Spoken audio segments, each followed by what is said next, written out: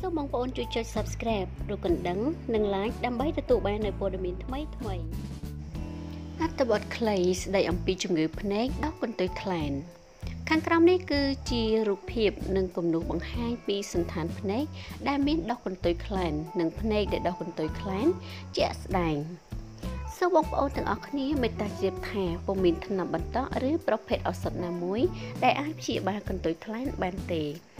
អ្វីទៅជាជំងឺភ្នែកដោះកន្ទុយថ្លាន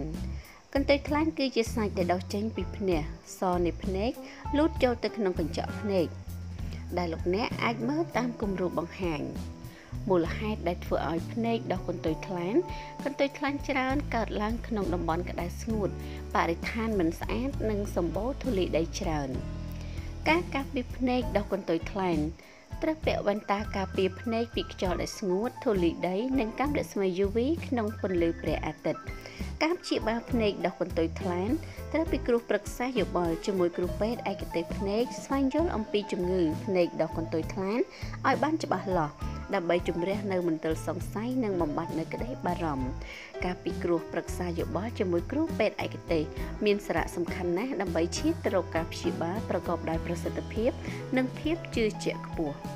ការព្យាបាលដោយបន្តក់ថ្នាំដើម្បីបន្ធូរបន្ថយអាការៈរំខាន ដែលបណ្ដាលមកពីកន្ទុយថ្លែងដូចជារកាំភ្នែកក្រហាយនិងហូរទឹកភ្នែកដោយសាររលាកសាច់កន្ទុយថ្លែងឡាក់ ការវះកាត់បកកន្ទុយថ្លែងនិងផ្សំសាច់ដើម្បីកុំឲ្យដោះឡើងវិញ គឺជាមធ្យោបាយតែមួយគត់ក្នុងការការពារកន្ទុយថ្លែងឲ្យបាត់ពីលើភ្នែករបស់អ្នកចំណាំសូមក៏មានការបារម្ភប្រសិនបើលោកអ្នកមានបញ្ហាភ្នែកដោះកន្ទុយថ្លែង